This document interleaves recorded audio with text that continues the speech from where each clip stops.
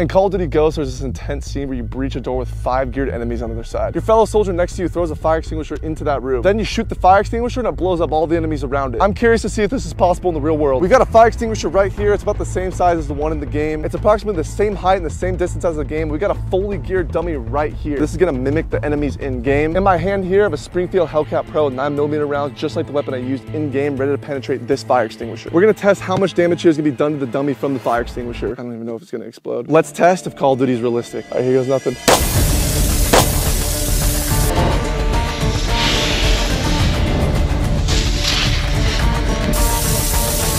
Holy shit. All right, let's let the dust settle. That looks crazy. The soldier looks like it's still standing. Right here, we have the entry wound. Don't see an exit wound anywhere. The fire extinguisher did not explode like the game. As we can see here, he's still intact. There's just a little bit of fire extinguisher debris on him. Not damaged at all. All this really did was leave a big white cloud surrounding the dummy. I think this can confirm pretty well that Call of Duty is not realistic. We've completely innovated in the area of connecting you, the player, to your instance in the game, making you feel more in the game. What the fuck? Oh, bro, the laser vision. I'm stronger. I'm smarter. I'm better. I am better. What you're seeing is advanced warfare. All right, boss. Time to show them what you're made of. You look lonely. I can fix that. Let's split this loot 50-50. I've detected the enemy's armor plate defenses are down. Only a matter of time till we AI take over. Oh, sorry. Are you back? What the? Kitty cat. This look like it belongs in Fortnite. There's a f***ing bunny rabbit in this thing, man.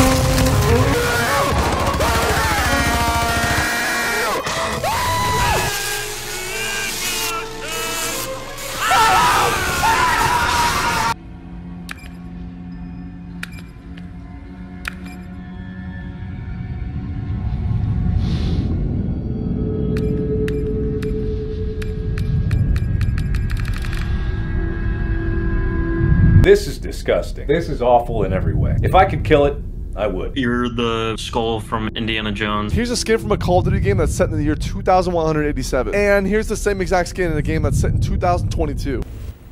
What do you think? Nice. Oh my god. What's your operator? Uh, Kevin Durant. I think that level of immersion is really going to speak to fans. So that was a fucking lie. Call of Duty, a video game franchise based on war, is the best-selling first-person shooter game of all time. In its 20-year run, it's generated over $31 billion, with hundreds of other war games making money behind it. Call of Duty bases itself off real-world conflicts and pushes itself to be realistic. We are going to deep dive to see how realistic it actually is compared to other military simulator games. The most drastic difference between Call of Duty and Milsim games are explosives. Back up, back up, back up! What's Rocket launchers in Call of Duty are child's play compared to the ones in Milsim games. In Call of Duty, getting RPG in the car is no big deal. You can just walk it off. Get up, Private Alex. But in Milsim games, you're dead before you even hear the explosion go off. We're gonna go f- flat through this. I don't care, Wesley. Uh! in Call of Duty, an RPG hitting behind your car creates an epic moment. In Milsims, you're just simply dead. Ah! Holy shit. In Call of Duty, when your helicopter gets hit by a rocket, you emerge as the ultimate untouched badass. In Milsim games, there's no escape. You're just dead. You ready to get out? Oh, oh my god. That's not fucking good. Getting directly hit by an RPG in Call of Duty doesn't even kill you. RPG! Get your gun up. In Milsim games, if an RPG even hits you 15 feet away, you get turned into red mist. Thanks for the patch up, soldier. Oh! Oh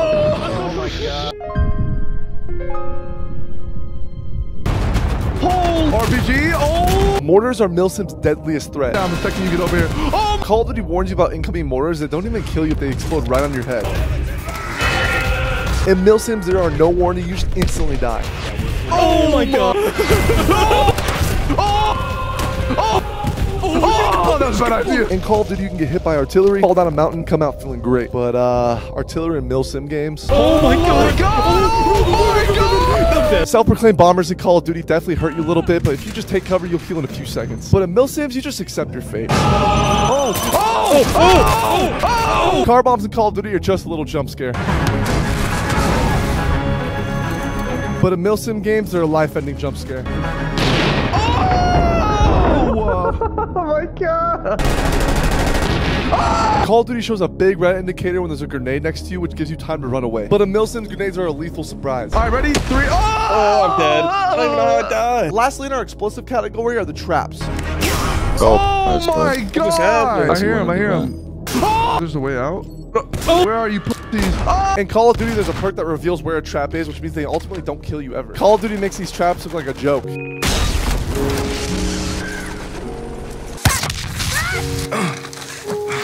A key distinction between friendly fire and Call of Duty and Milsim games is that it's always an accident in Milsim games.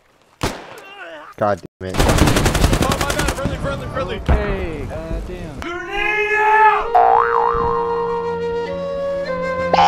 Are you serious right now, bro? You need to know how to toss a frag grenade. The nade hit, run, run, run, run, run, run, run, run. Whoa!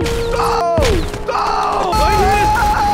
I'm so hurt. Keep going, sniper! Keep going! I think I'm stuck. Go back, go back. Ow, you shot me! People in Call of Duty just team kill because of personal beef. I guarantee if you saw me face to face, you wouldn't say that though. If I knew this, I'd beat his ass. Not that big. I would beat the I would take off this bitch whole head ass. off his shoulders. Probably no guns involved. nigga. Weave your shit. Beat you up with Beat these the hands. Off nigga. your You saw me in person, you'd be scared of me. And Call of Duty, friendly napalm dropping on you creates an epic America scene. Be advised, multiple napalm strikes incoming.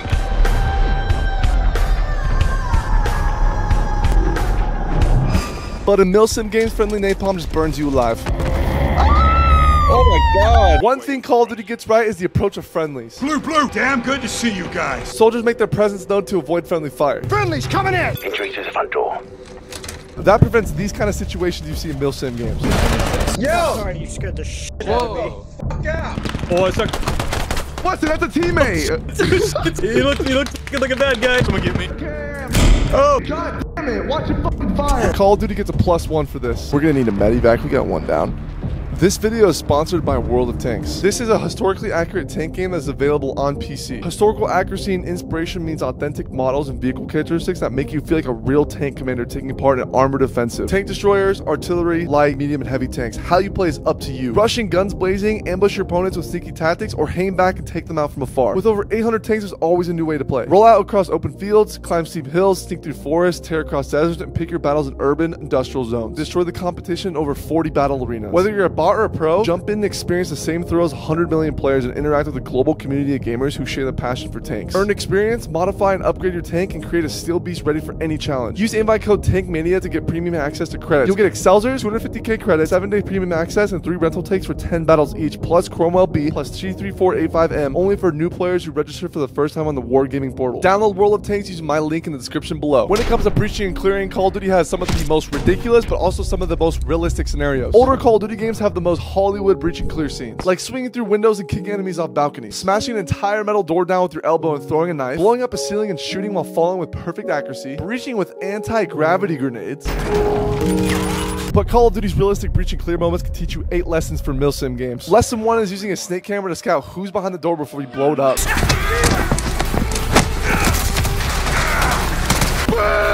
Go, go, go!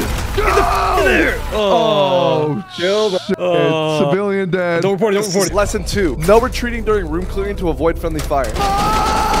Lesson three. Enemies unpredictably charge you at random moments. Since, since you're the fucking king here.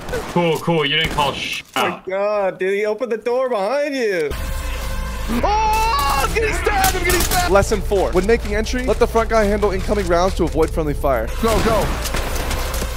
Move, bro. You got in front of me. You literally stood right in front of my fucking bullets. Lesson five. Check those corners. Hey, check your left, check your left, check your left. Josh, your left. No one over here, bro. What are you talking about? Ah! You said there was no one over here. Lesson six. Room clearing without tacticals when enemies know you're present is unwise. Breach, breach, breach. Go, go, go. Move out, move out. Oh, Always throw tacticals when compromised.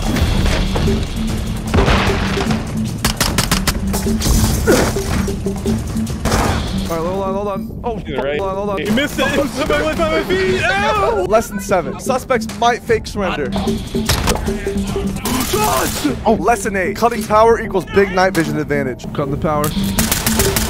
Despite these lessons, my friends and I still struggle at Milsim games. Don't go in there. Don't go in there. Don't go in there. Shut the fuck fuck up. Am I dead? I'm dead now, actually. Preacher from the left. Preacher from the left. Left. Parker. God damn, that's why I said preach from the left. My friends lacked the most basic knowledge. Back up over here. Oh, you're welcome. Josh, stack up on the door. On the door, bro. Who is this right here in front of Who's me? Who's running? It's Parker. It's me. I'm right here. I'm at the door. Stack up on it. Like I was literally it. just there. Get on it. On the wall. One of my friends didn't understand the concept of arresting people. Josh! What, bro? He is used to Call of Duty's everybody's a target mindset. Josh, stop! What are you doing? Uh, What, bro? A big misconception that Call of Duty creates is that clearing Vietnamese rat tunnels is cool.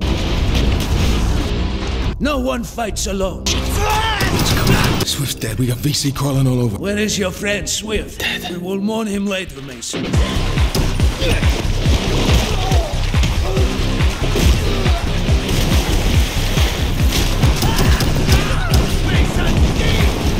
In Milsim games, it's definitely not fun.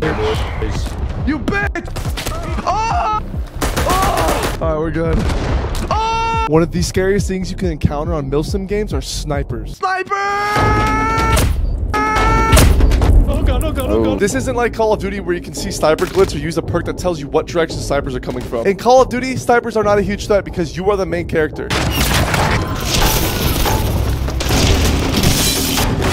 Sniper! Get inside now! In Milsims, you are the side character. So. Oh! What the- oh, sh- I want you staring me in the eyes when I die. Fucking boo boo boys. You do it. I'm dead. I got him. I got him. Good shot, man. There are two types of Milsim players. The guys that take Milsims way too serious and hate Call of Duty players. Are you new? I play Call of Duty. Alright, well, you downloaded the wrong type of fucking game, alright? You need to uninstall, refund your money, and go back to Call of Duty because this is big boy shit, okay? We don't run around, we don't go inside, we get done, okay? We don't run in and start shooting. Ah! No, bitch, it doesn't work. Milsim players view us Call of Duty players like we are just caged animals. the Fuck is that? Shut the fuck up. You know what? We're checking. Check this out. though. You want one for one? They reject us from their military simulator game because they think we have the lowest IQ in gaming.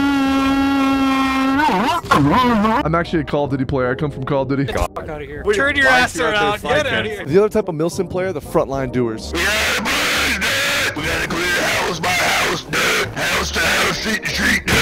They disregard your Call of Duty background, just want to get shit done. We're gonna full send it all the way up to the front lines. Form a quap. Quap. I'm drunk. I should not be driving. Who let me drive? Where are we going? I'm a Call of Duty player, so just take me straight to the front, okay? Yes, sir. Get us all the way in. I'm a Call of Duty player. My Call of Duty friends absolutely struggle with Milsim games. After this death, we should play another game. It's so boring. Yeah, I really don't want to play this game anymore. We are not made for this. Like, we can't even do a simple task. Like, I, I honestly think if they told us to wipe our ass, I could not wipe my ass. The slightest differences between Milsim games and Call of Duty blew my mind. Smoke it, smoke it, smoke it, smoke it, smoke it. Ah, I'm getting him. It's not Warzone. I can't just smoke it that fast. No seat switching like in Call of Duty if your vehicle pilot dies. Pilot just died. Our I'm pilot dead. just fucking died. Our pilot just fucking died. the most mind-blowing difference to me was swimming. Call of Duty can swim with heavy exosuits and shoot accurately. Oh, what the fuck behind it? They can shoot while in the water? What type of shit is that? In Milsim games, you drown. No. Oh god. Okay, oh, yeah. Someone's trying to take a little swim. Yo, you can't swim. It's too heavy. Healing your teammates in Milsim games isn't as easy as just pressing a button like Call of Duty. I'm coming to the building! Help! I need a first aid. I'm gonna die. I'm gonna die. In Call of Duty, falling from a three-story building is a breeze. I fell seven feet off a building in a Milsim and instantly died. In Call of Duty, could shoot a gun in full auto while drop shotting. Get me, fool. He laid down. Not in Milsims, though. Ah! Call of Duty taught me I could run through a building blasting a flamethrower. In Milsims, you can't do that. And I just had my movie moment and I just killed myself. Okay. My time being bad and playing Milsim games really made me love and appreciate Call of Duty more. Call of Duty prioritizes fun over realism in certain aspects for a more enjoyable experience. If the developers implemented actual realism, it would shrink Call of Duty's player base significantly. Call of Duty just wants you to hop in to play with no struggle and make you feel like you're super important in the digital world. Do you like Call of Duty? Yes. The only game I have. I'm the star of the show. How come you guys like playing Call of Duty? Today we made ourselves a clan. It's called WSS? Yeah. Oh, what's that mean? We stay trapped. Here's my friend Noah on a Milsim game. Honestly, I kind of want to get off this game. Here's him on Call of Duty. You fucking turn on, you little bitch. Things like customizing your operator for intro scenes that show off your cool skins to everybody in the game, MVP screens, win screens, play the game highlights, and more. Weapons let you customize your blueprints, stickers, camos, charms, and cool inspects that other players get to see in game. These things make you feel cared for in Call of Duty, so I understand why people enjoy coming home from a long, hard day and just play some Call of Duty. Most importantly, Call of Duty generates feel good moments you can't get anywhere else. Oh! Oh! Oh! Bro, no fucking way you did that shit. No way. What the fuck are the odds? What are the odds. Be sure to like and subscribe for more. Double